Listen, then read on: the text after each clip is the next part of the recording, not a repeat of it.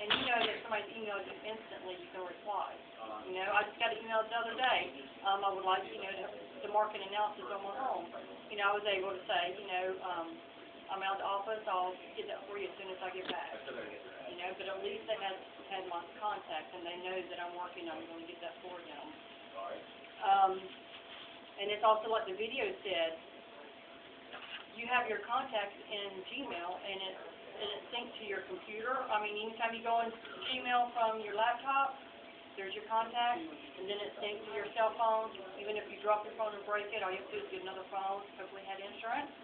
And, um, and then it's all right back there, so you never lose your contacts, ever. There's no way, I mean, unless Google crashes, which I don't think that's gonna happen.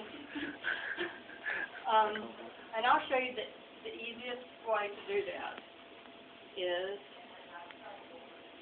everybody has a different phone. And like the BlackBerry, it doesn't do the push support, but, um, the iPhone does, Nokia, and then Windows. And I think the Treos are Windows-based phones. Um, but what it says is you're supposed to go, supposed to be go onto the internet, if anybody has internet on their phone, or, does anybody have a Gmail account? I have one, but I don't use it, and I don't even know what the number is. Okay, the first step would be creating a Gmail account, so let's go back to, to Google.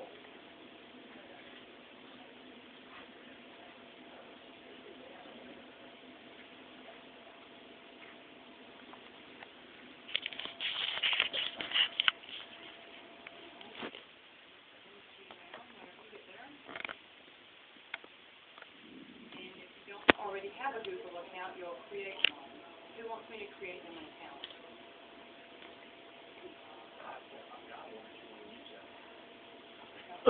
Nick, You want do me you to have, create do you you an have a Google account, account? No, I'm Okay, not. I'm gonna create one for Barry.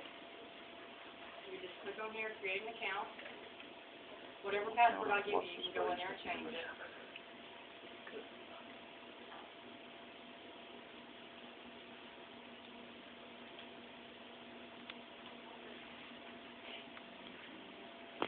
You may see, are you? Zard login name, what would you like your login name to be? Okay. Gary's home?